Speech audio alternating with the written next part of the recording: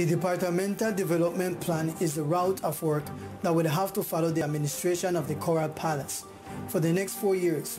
In this one, there is strategies to solve the social problems of the department in health, education, security, infrastructure, among other subjects.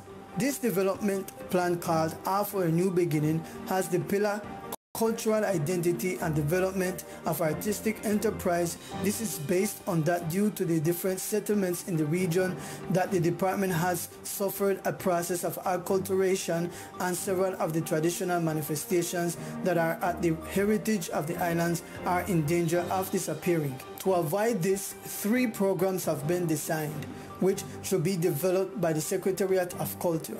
The first is construction and improvement of cultural infrastructure, which should be built and provide cultural centers, as well as conserve the tangible heritage of the archipelago and implement a departmental network of libraries.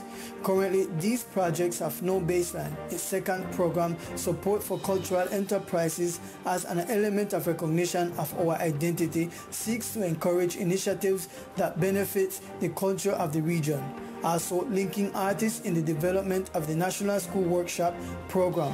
At present, these projects do not have a baseline due to the health emergency. Its last and third program, Promotion of Cultural Activity, seeks to benefit children in artistic and cultural training programs.